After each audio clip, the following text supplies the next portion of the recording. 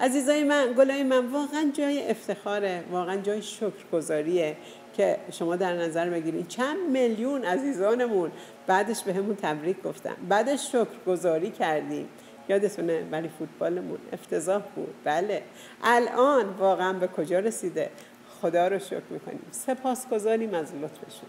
امیدوارم عزیزای ورزشکارمون خدای مهربان پروردگار انرژی چند برابر بهشون بده و مایه افتخارمون باشن و خدا رو شکر می‌کنیم به وجودشون هم افتخار می‌کنیم.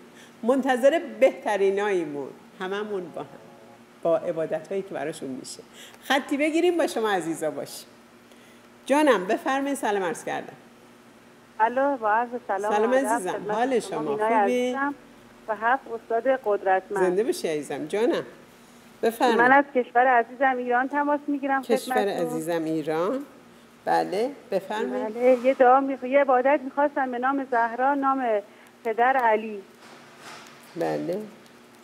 از معجزات قدرت پنهان خدمت خدمت خدمتتون عرض کنم. آقا جواد بودن که به لطف خداوند و دعای هفت استاد قدرتمند به گنجینه دست پیدا کردن. مرسی عزیزم. دیگه چی می‌دونی خانم؟ مریم خانم بودن که سرطان داشتن که به لطف خداوند و دعای اساتید گرامیمون شفا پیدا کردن. مرسی عزیزم. عبادت برای چی می‌خوای؟ سلامتی و آرامش.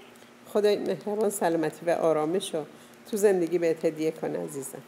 ممنونم مینا جان. اگه لطف کنید دست پربرکتتونم برام بالا ببرید ممنونتون میشم عزیزم. چشم گلم. خدا حافظ